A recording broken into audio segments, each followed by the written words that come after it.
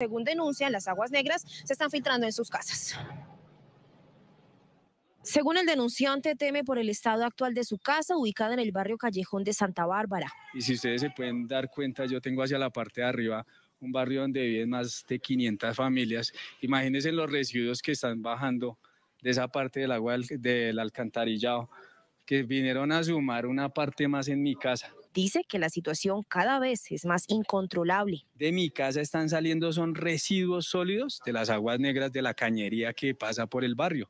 Entonces, pues estoy esperando a ver cuál es el punto de atención que me van a dar eh, en cuanto al problema que tengo en, en mi casa. Según la comunidad, varias viviendas presentan humedad y esto es peor cuando llueve. Porque en el primer, los primeros pisos de todas estas casas son totalmente húmedos.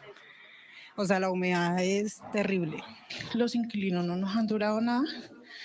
Ellos se van por el olor. Por lo menos acá teníamos una muchacha que eso se riega hasta acá.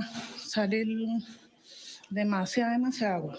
Consultamos a la empresa de acueducto de Alcantarillado de Bogotá que respondió que programará una visita de verificación con equipo técnico a la zona para dar respuesta a la problemática de la comunidad.